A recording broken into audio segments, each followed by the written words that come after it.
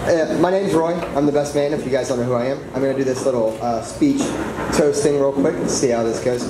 Um, so tonight, the this speech that I planned out is uh, it's gonna be a story. It's gonna be a story of uh, how me and Mitchell, Mitchell met. And it's gonna go and it's gonna progress till I don't want to give any spoilers, but they end up getting married. So, so uh, I met Mitchell four years ago. Um, it was my sophomore year, his freshman year at LSU. We met a little bit before that, but through some mutual friends, we started hanging out and things like that.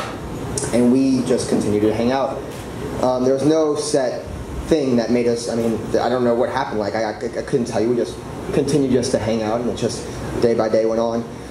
And we actually ended up watching a TV show. If you haven't heard of it, it's called How I Met Your Mother. It's a great TV show. You guys should watch. Um, but we actually, like, two 13 year old girls would stay up every single night and watch that TV show. Great show, you guys, I'm serious. And it had to be, uh, I want to say around season three or four. We had been watching the show for a while. I uh, decided that it was, it was time. I uh, took my heart out and I looked at Mitchell and I said, Mitchell, I'm glad we're best friends. And he looked right back at me and he said, We're not best friends. it hurt. Um, I took my heart out. He threw it on the floor, stepped on it. It was it was bad. He said, uh, "We don't know anything about each other. We can't be best friends." I said, "All right, well, let's fix that." And once again, like two 13 year olds at their first sleepover ever, we stayed up till 3 o'clock in the morning talking about our feelings. Great.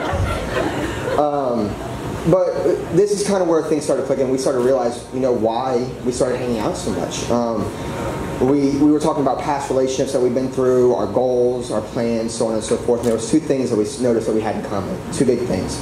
Um, those things, the first thing was that we had this ambition, this goal, this self-drive to better ourselves, and that we knew that we were going to be successful one day. And not that it would be given to us, we would have to earn it, obviously. Um, whether that's, you know, getting lots of money, owning our own businesses, whatever the case may be. We knew we wanted to be successful. The second thing that we realized is that it didn't matter how much money we had or how much success we had, if we didn't have somebody to share it with, it didn't really mean anything at all. And that's when our journey really started to uh, find the one.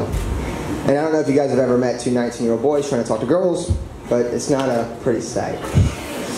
Um, so we went um, talking to these girls, and you know, had all these experiences and this and that, and, and they never seemed to work out for obvious reasons. They're weren't the one, right? And if you ever try to fake love or you just like somebody, it, it never truly ends up working out. And you guys, I'm sure, know that. Um, and then after about a year, Mitchell decided he had a calling um, against all of my advice to go to Minnesota.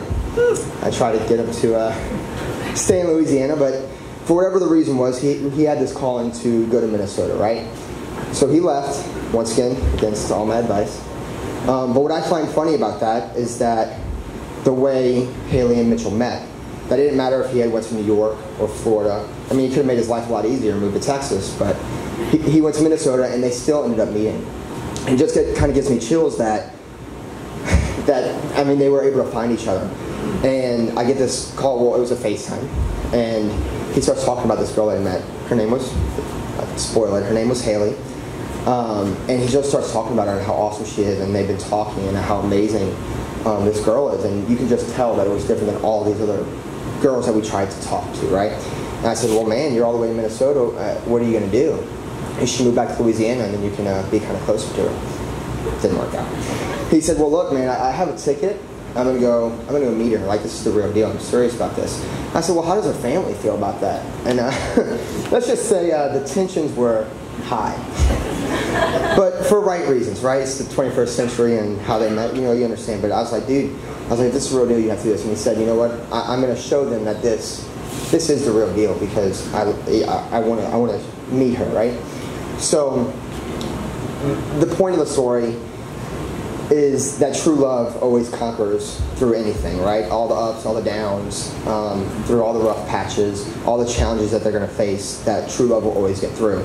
Um, we know we have a lot of people here that are either already in relationships or already married that have already experienced this, that know that true love is going to get through, right? We have a lot of people here who haven't seen that yet, and I think that Haley and Mitchell are a great example of getting through these tough times, right? Um, so, Haley and Mitchell, I think that um, I speak on the behalf of everybody that we're so happy to be watching you guys on this journey and where this journey is going to take you guys.